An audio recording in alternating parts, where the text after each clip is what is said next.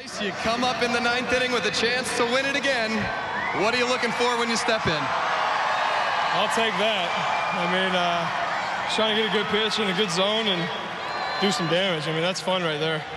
That's your fifth walk-off home run already in your career. What is it about these situations that seem to bring out the best in you?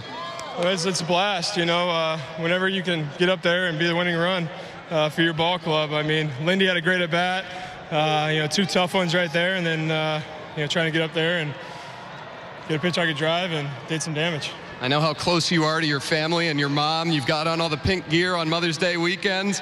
Uh, what does it mean to do this on a weekend that goes out to mothers? Yeah, I mean, I think uh, you know being able to play for them, you know, it's all fun. You know, happy Mother's Day, all the mothers out there.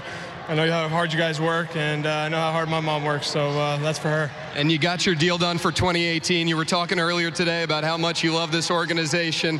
Uh, the same day that you, you inked that deal to win one for your club, what does that mean? Uh, I'm just happy to be out here, you know, playing the game of baseball, playing the game that I love.